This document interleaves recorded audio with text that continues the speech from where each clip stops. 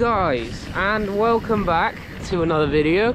I just want to kind of take you on my new favorite gravel ride. It's about three hours and yeah it's a new favorite. It's becoming a classic and I'm going to take you along for the ride.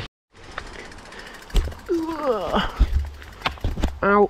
Got a stick in my head.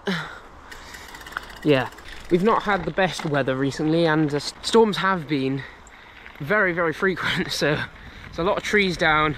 There's a lot of rain. Ironically today is probably the better day we've had in the past couple of weeks and it's still raining and cold. Onto route 43 the cycle path heading towards Ystalyfera now. I'm going to go up the valley onto the top of the hill and up towards Sarn Helen which i'll give you more information about when i get there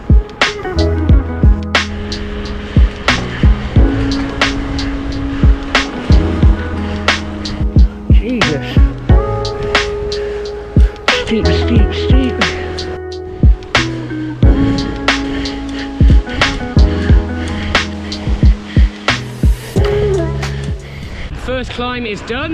Um, there's kind of three main climbs. The next two are quite long. Um, I think one is about eight and a half K, but the one before that is maybe 4K.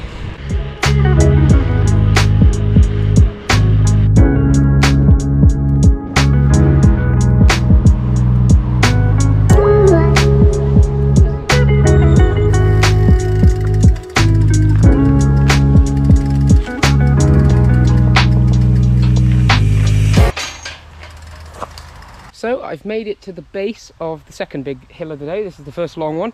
And I've just entered Crynant Forest, which is a really nice woodland, a lot of gravel, a lot of fire roads, and actually really well signposted, which is unusual. Uh, they've put a lot of effort into making this place uh, really nice.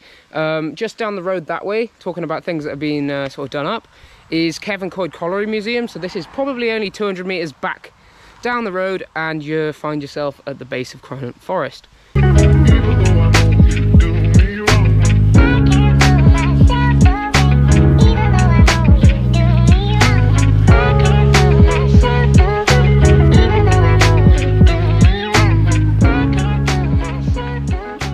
Now, when you're up here, make sure you take a trip to the frog pond. Some really interesting wildlife, including some giant frogs. Let me show you what I mean. Now, I'm just by the frog pond and I'm very lucky to have spotted one of the giant frogs. Take a look at it. Wow. It's one of the uh, wonders of uh, the Crynant Forest. Mole.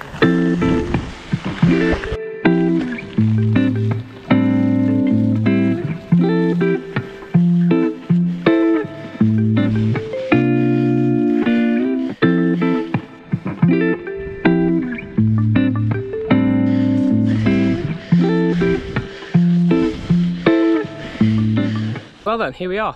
Second climb to done. About 20 minutes of climbing right up out of Crynant. I've reached the high point now. And here we are, Sarn Helen. So comes along here and straight down there. If you look on the map, it's a super straight line.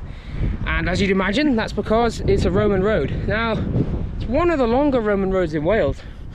Um, it did originally stem from roughly around Neath all the way right through the Brecon Beacons. It went down to Lampeter, it went way up north. Can't remember quite how far north, but yeah. And it's certainly something I'm thinking about trying to link together. See how much I can put together, thread together. Certainly would be a challenge. Um, a lot of it is now, I think, unfortunately, private land or overgrown. But there's a good chunk here up uh, up in Crynant Forest. The section here is all public byway. So you do bump into a few motorbikes, a few quad bikes sometimes, but they're always very friendly.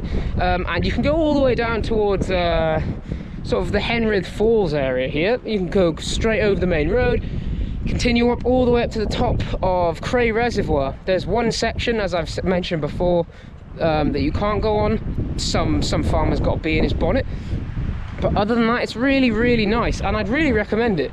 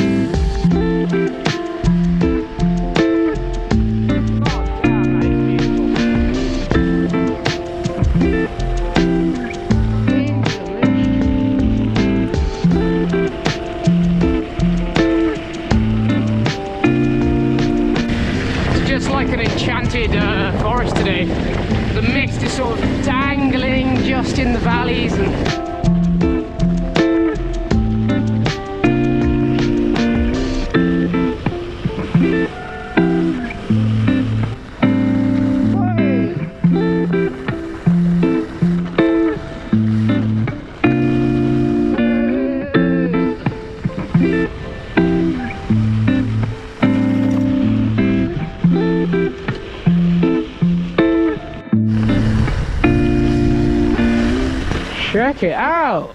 I'm at an old colliery. And this, I presume, is the old fan house. Pumping uh, fresh air into the mine and um, keeping those boys down there relatively safe. I haven't done too much exploring of this uh, this area.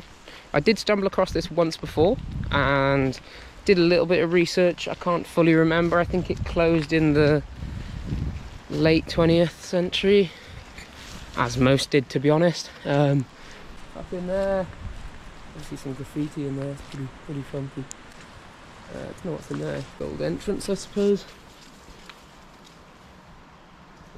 But as you can see then, all of this concrete is the entrance going into the hill there.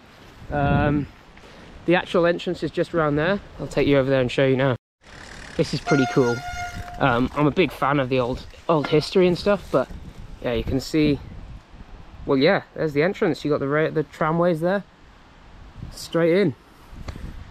I'd love to uh, explore this, but it's pretty shut down. You get a lot of this. It's If it were in other places, it'd probably have been preserved and would be like a hive of uh, history and things, but there's so many mines in South Wales that, yeah, you just get, you know, these absolute gems of history just hidden away, dumped away in a corner. And you've really got to try to, like, you know, you wouldn't find this unless you stumbled across it. And just like that, I've dropped down the last little bit of the descent onto the old sort of Neath Valley Road That's where we've come from and this is where we're heading.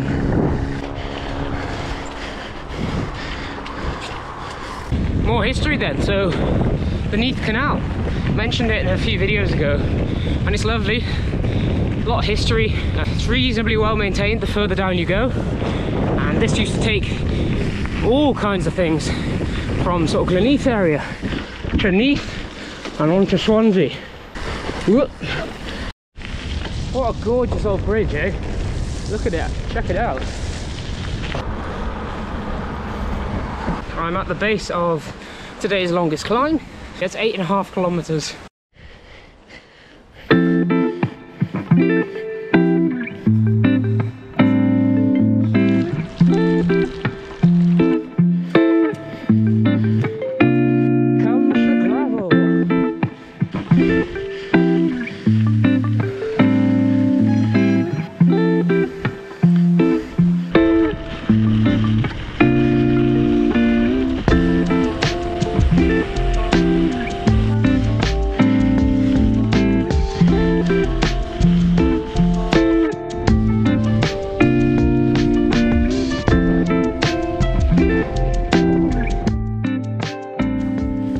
Got on camera.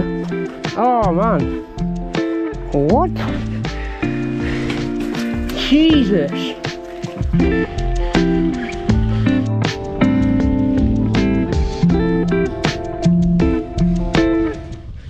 Some uh, mountain bike trails up here. Because we're actually near uh, Afan Argoed. And the Black Run comes up and over this side, which is pretty cool.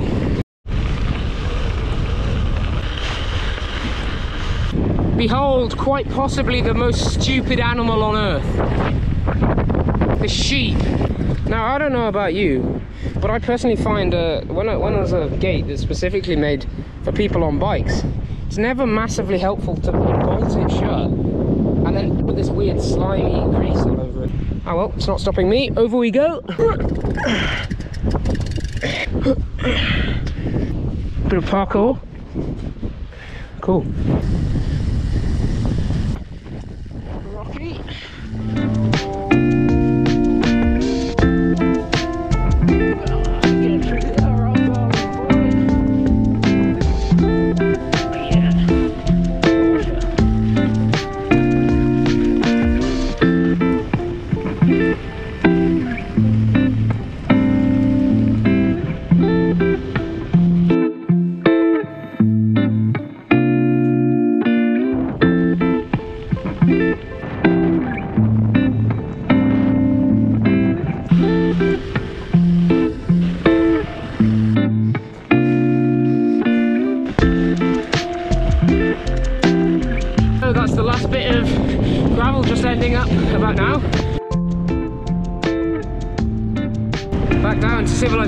Into Neath.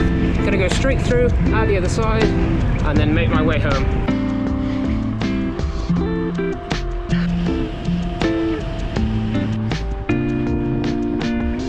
Just hauled my ass up the final climb to the house. So it's been a good fun ride, just over three hours in the end.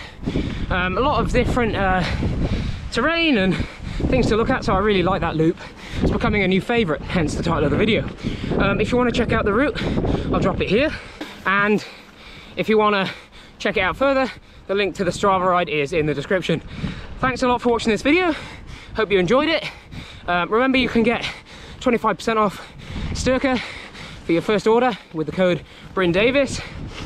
And that'll be the end of the video. Thanks for watching.